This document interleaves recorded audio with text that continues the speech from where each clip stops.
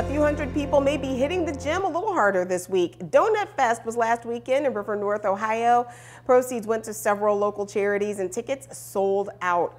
More than a dozen vendors were there with lots of coffee and also donating to several area charities.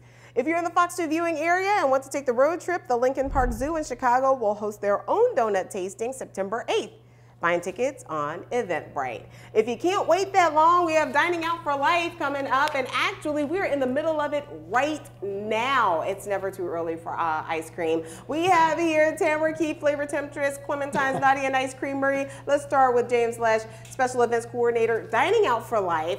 Tell us yes. a little bit about how it works and who it benefits. So, Dining Out for Life benefits St. Louis Effort for AIDS. It's very simple. All you have to do is find a participating restaurant. 25% or more of your bill automatically goes back to St. Louis Effort for AIDS, helps us with education, prevention, and treatment of people battling HIV and AIDS. Another thing is I think a lot of people uh, believe that it's just about testing or St. Louis Effort for AIDS just sure. work with testing and that's about it there's a full range of, uh, and I know that Dining Out for Life helps the humans. You guys also will do something to help the pets yeah, too later we're really proud of uh, our Pets Are a Wonderful Support program. Um, and you know, one of the first things to go when people start battling HIV and AIDS and have additional costs is their pets. Um, we work with Purina, which is a great organization that helps with pet food, tick and flea, heartworm medicine, all those types of things. All right, everybody. So that's another reason to go ahead, come on out, take all your friends and family out and eat something. Again, breakfast, lunch, dinner, and dessert. We have the flavor temptress. Hold on, flavor temptress. I love this woman. What do you have here for us today? So we just brought a whole wall of a bunch of different flavors. We have our brand new ube and pandan, which uh -huh. are Southeast Asian flavors that we ah. just launched that we're here if you want to try some.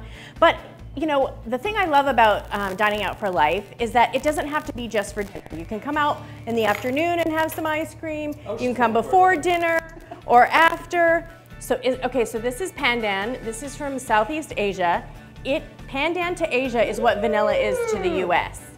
Wow. That is, that is so good. Isn't that amazing? It tastes like a very deep vanilla, almost like yeah. a mm -hmm. like one of those wafery crackers. And it comes yeah. from oh, this good beautiful tropical plant. Mm -hmm. Like it's all natural. It's just it's really beautiful. But you know, we've just I've been inspired to do some Asian flavors lately, so we thought we should do it, and it was a great opportunity to highlight those flavors and all of our naughty and our nice ice creams to come out for dining for life, out for life. That's right. Can't talk this morning.